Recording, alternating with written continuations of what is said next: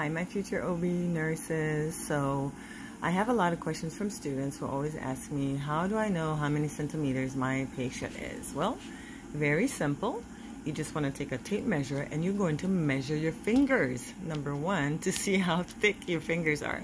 So for me, notice if I put my finger here, one finger for me is about a centimeter, okay? So dilation. So I know that if I'm able to introduce a finger, only one finger, into my patient's cervix, that means she's one centimeter dilated. If she's two centimeters dilated for me and for the size of my fingers, well, go ahead. I do like this. So if you see, it's about two centimeters of dilation, okay? So one and a half finger for me is two centimeters. But notice if I put my fingers side by side, then my patient is three centimeters dilated. If I'm able to spread my fingers a little bit, then I know that she is 4 centimeters dilated. If I could spread them apart this way, I know she is 5 centimeters. But now, once I start not being able to spread my fingers, because I have pretty long fingers, guys. I'm 6'1", I have very long fingers.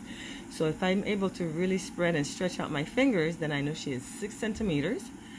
But if I'm stretching out my fingers and it starts hurting me, then I start going this way into the cervix. Then she is 7 centimeters dilated. A little bit further, 8 centimeters. 9, right? See, I'm stretching my fingers up and down this way. And if she's 10 centimeters, I'm really, really stretching those fingers. Okay, my index finger is usually up or to the side, and then my middle finger is usually all the way to the other side or down. Okay, and usually when a patient is 10 centimeters dilated, hopefully they're 90 to 70% effaced. That means that the cervix has shortened. And usually you start feeling around and you could feel the baby's head. Okay? So you could feel it inside. Now, how do you determine station? Well, let's say that I could feel the bone. So this is the vagina right here. And I'm able to feel the bones of the mom, the ischial spines on the side. Well, I'm going to feel the ischial spines I'm going to spread my fingers to see how dilated she is, but then I'm going to go up. And if I'm touching the ischial bone and I'm one centimeter above, then she's negative one. one cent two centimeters above, negative two. Three centimeters above, that's where I feel the baby's head then. That means baby's negative three. But if I'm introducing my fingers again, but I feel the ischial spines here, right, on the side, but I feel that the head is just below that little bone, then I'm going to say she's plus 1. A little bit lower, plus 2. Here's my ischial bone, and baby's head is kind of like this, plus 2. If I can open mom's vagina and I see the head immediately, then I say she's plus 3.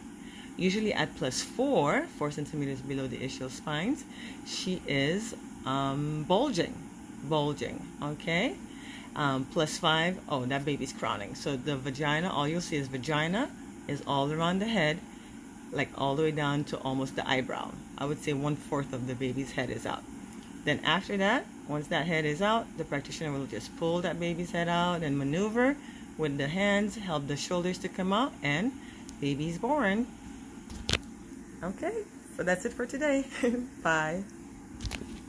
So just to keep in mind that every practitioner has different size fingers, right? So maybe somebody has little fingers and maybe their fingers are just 0.5. Okay, but mine, my index finger is one centimeter in from side to side, I would say in diameter. Okay, but for me, two is a finger and a half, three is two fingers, four is a little spread of my fingers, um, five is more of a spread like a V, six, I'm stretching out my fingers, seven, then I start going sideways, eight, nine, ten, all I'm feeling around is head and maybe a little bit of cervix if she's still 90% effaced. But if I just feel head all around, then she's 10 centimeters dilated, right? 100% effaced. And then you have to say the station. Where is the baby's head in comparison to the ischial spines? And that's how you do an SVE, how you measure it, okay? SVE stands for sterile vaginal exam.